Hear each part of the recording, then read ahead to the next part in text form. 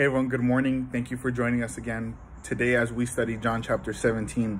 John chapter 17 is a chapter that we studied uh, a couple Sabbaths ago for our sermon, but I think it's still very important that we understand and comprehend it. And I invite you all to read it as you um as you go out through through your day and and meditate on the words that are there. So John chapter 17, Jesus is it's it's his prayer, right? It's his the longest prayer that's recorded of his, and it's it's interesting as we break it down how there's three different sections that he prays, right? He prays for himself, he prays for the disciples, and then for the future believers. But one thing that unifies all of that prayer is unity.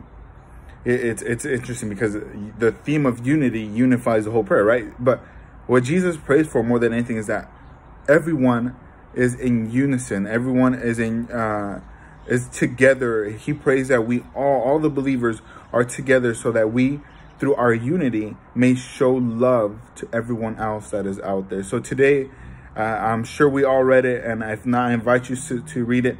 But today I invite you to just to strive for that unity, to strive to be together, to be one with your family, with your friends, and as a church community as well. So family, we hope that you have an awesome Thursday and God bless.